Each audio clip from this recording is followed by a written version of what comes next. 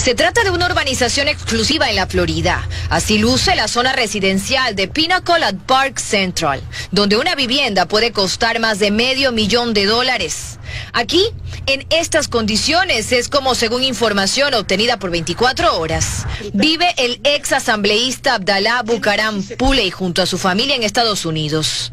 Bucaram abandonó el país el 7 de marzo pasado. Su vivienda y la de su padre en Guayaquil fueron allanadas, dentro de una investigación para desarticular a una red de corrupción que maneja los hospitales del IES. Al ser consultado sobre el sitio en el que se encuentra en Estados Unidos y si este bien es suyo, esto respondió el ex asambleísta.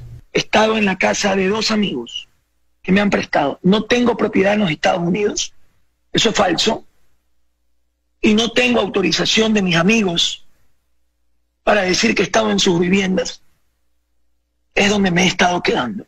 Al hacer una búsqueda sencilla en la página miamidade.gov, ponemos la dirección del domicilio y notamos que resulta ser que el nombre del propietario de la vivienda en la que pasa sus días en Miami, Abdallah Bucarampuley, es Daniel Salcedo Bonilla. El mismo Daniel Salcedo que se encuentra prófugo de la justicia y que es buscado por la policía por ser posiblemente parte importante de la red que maneja los hospitales del IES. No tengo autorización de las personas donde me he estado quedando, no puedo hacerlo público. Si ellos me autorizan, con gusto lo haría.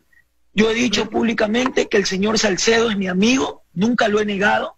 He dicho que es un empresario que lo he conocido como un hombre honesto, que me ha respaldado en mi campaña 2017 y que pienso que está siendo perseguido sencillamente por tener amistad conmigo.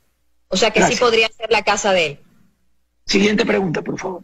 La vivienda de dos pisos fue adquirida en el 2019 por más de medio millón de dólares, exactamente por 670 mil dólares. Al hablar de sus bienes, Abdalá Bucaram Puley reconoce que tiene una casa en Guayaquil, una en playas. Descarta que el departamento en Salinas sea suyo, asegurando que solo lo rentó. Admite que es copropietario de una hacienda de Pitajaya y que maneja un equipo de fútbol.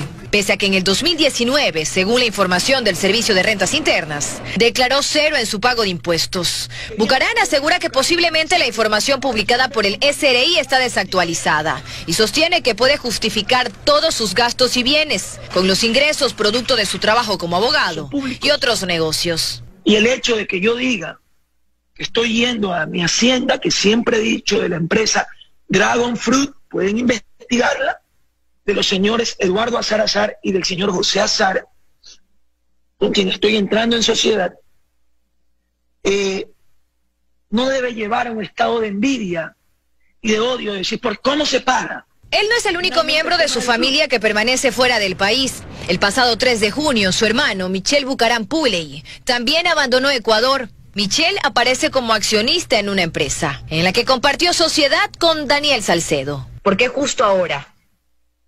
Porque vino a visitarme, porque es mi hermano. Se piensa porque que la sangre, porque la sangre llama a la sangre. Dalo Bucarán aseguró que su visa no está inhabilitada y que todavía no volverá al país. Mientras pasará los días en Miami, en esta residencia que tiene como dueño a Daniel Salcedo Bonilla, quien es buscado por la policía por presuntamente ser parte de la red de corrupción que maneja los hospitales del IES. Y también es su amigo.